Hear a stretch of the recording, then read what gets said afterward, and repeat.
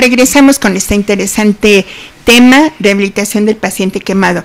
Eh, yo creo que todo mundo hemos pasado por esto, conocemos algún familiar con algún problemita de estos y si tienen alguna duda comuníquense por favor al 246-1202 o sus recaditos escritos 2222 65 78 54 o en la página de Facebook. Medicina Rehabilitación Puebla en Facebook.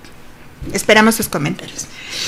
Eh, ahorita estamos precisamente también comentando que verdaderamente la, quemadura hacia el entorno de la familia es una cuestión sumamente trágica, ¿no? A nosotros, nosotros los médicos en rehabilitación buscamos mucho hacer el trabajo de calidad de vida. Eh, no sé eh, si nos pudiera orientar un poco, bueno, los dos, porque los dos tienen muchísima experiencia en esto, porque realmente viene la quemadura y la mayoría de las veces la quemadura sucede en un entorno socioeconómico deficiente, ¿no? Que hay como un déficit de atención, eh, nivel socioeconómico, cuestiones como de culturalidad. Lo primero que dicen, bueno, se quemó el niño o se quemó la persona, pues le ponemos pasta de dientes, eh, pasta de dientes, lodo, miel, sábila. ¿Qué hay respecto con el primer contacto de atención de las quemaduras? Bueno, efectivamente eh, hay muchos mitos respecto al, manejo de, primera intención que yo creo que hay que recomendarle a nuestros radioescuchas que en un momento dado precisamente no se hagan cosas buenas que aparentemente van a mejorar este, la quemadura del paciente y que por el contrario la van a empeorar. En estos casos lo primero que hay que hacer evidentemente es llevar al médico a un centro de atención hospitalaria donde dependiendo del grado y de la magnitud de la, de la quemadura se van a dar desde medidas que van a ir a la aplicación de soluciones parenterales, porque hay que recordar que en una quemadura se pierden muchísimos líquidos, entonces hay que eh, hidratar muy bien a estos pacientes. Hay fórmulas muy específicas, las, las, fórmulas para este, evitar en un momento dado un desequilibrio hidroelectrolítico en, en estos pacientes, el aporte nutricional, el aporte con antibióticos que en un momento dado también es importante y obviamente los aseos quirúrgicos, los lavados en un momento dado para evitar predominantemente la contaminación. O sea que en este caso lo primero que deberíamos recomendarle a, nuestros internautas que nos hacen el favor de escuchar es primero llevarlo al médico y a un centro de atención de cierto nivel, ¿no? Es decir, no llevarlo, este, no porque tenga nada de malo, ¿no? Sino que muchas veces los médicos de primer contacto estamos como limitados para dar este tipo de atención, ¿no? Entonces tal vez la primera recomendación sería ir al hospital, al más cercano. Y además porque no se sabe qué grado de lesión se tiene.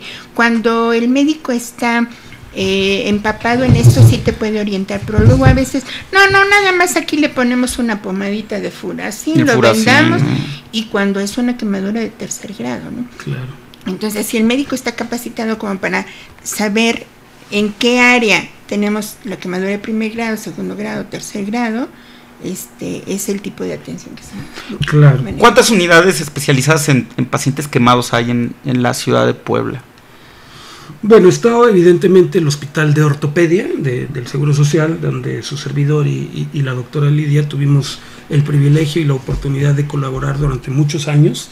Actualmente incluso somos médicos este, eh, felizmente jubilados.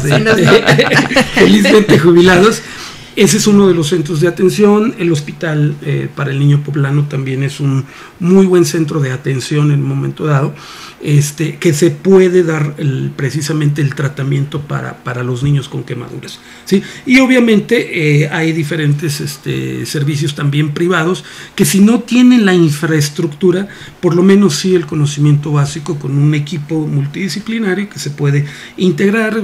Vamos a suponer que si llega un, un paciente a X hospital privado, bueno, pues le hablarán al traumatólogo, le hablarán al cirujano plástico, nos hablarán a nosotros, nosotros haremos la integración con nuestro grupo de, trabajo en este caso, para que, pues para darle la mejor atención posible a los pacientes. Perdón, y qué bueno que menciona esto porque una unidad de atención al paciente quemado requiere todo lo que comentábamos, ¿no? Un área de choque, urgencias de primer contacto, eh, regaderas, intensivistas, internistas, pediatras, nutriólogos, cirujanos plásticos, rehabilitador, trabajador social. Entonces es un componente bastante complejo que no basta con llegar a un hospital de mucho renombre, ¿no? Sino que tenga en ese momento el punto de atención del, manejo multidisciplinario, ¿no? Ok, ya llegó al hospital, ya se está trabajando el manejo básico. Bueno, perdón, antes de, eso, me gustaría que nos explicaran un poco respecto a qué tipos de quemaduras son y cuáles son las más comunes.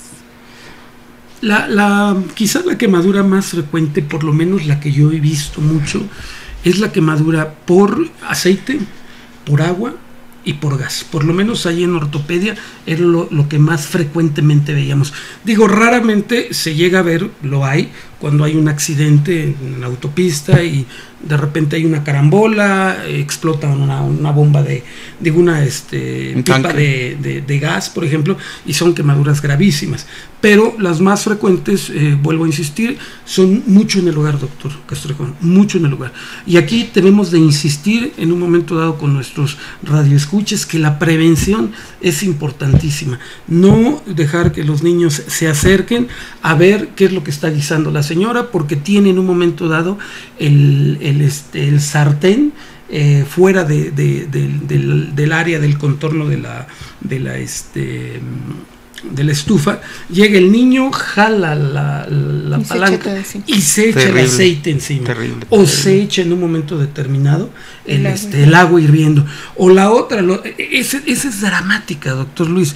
A, lo mejor la doctora lo vio. Los niños que se han quemado en los casos de las carnitas. Ah, sí, sí, es tremendo, terrible. Porque son quemaduras de tercer grado que requieren de toda nuestra atención y lo más importante, del tratamiento fisiátrico especializado en la fase final. Hay que recordar que una vez que se salva la vida, una vez que se logra el equilibrio hidroelectrolítico, que se evita la infección, ahora viene lo más difícil, ¿sí? la rehabilitación.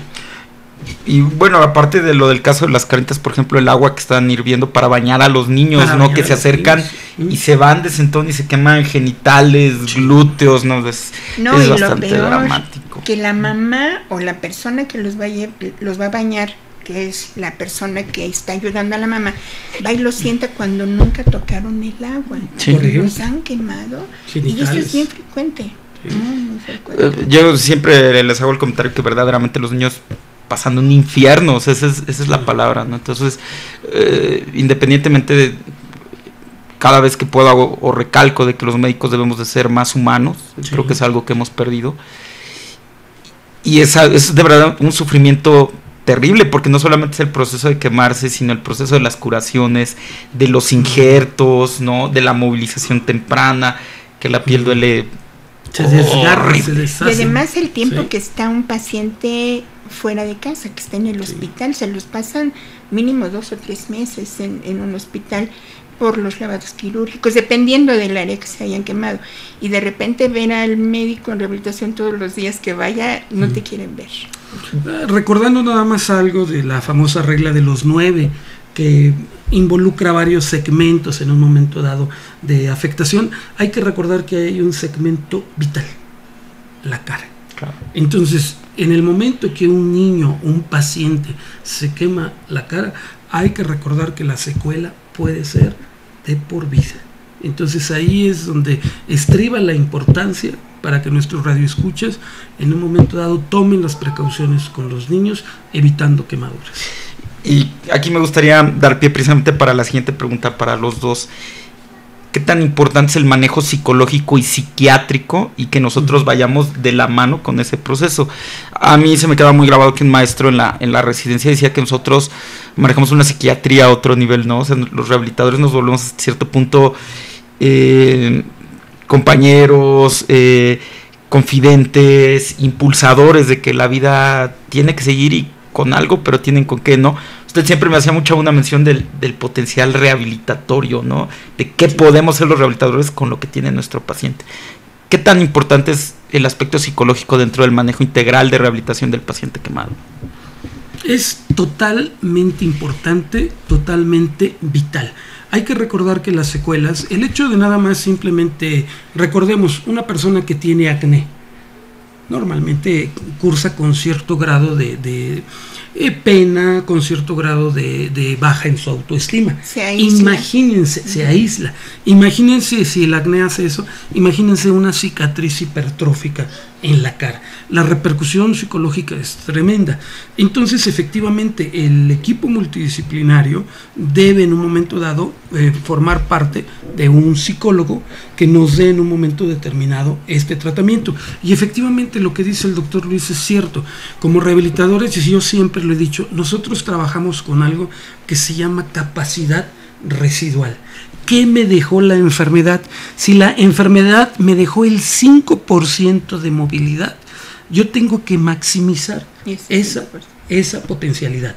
Si hemos manejado pacientes con lesión medular que les dicen no vas a volver a caminar en tu vida y lo podemos hacer maximizando una potencialidad, en un paciente quemado todavía tenemos mayor posibilidad de hacerlo.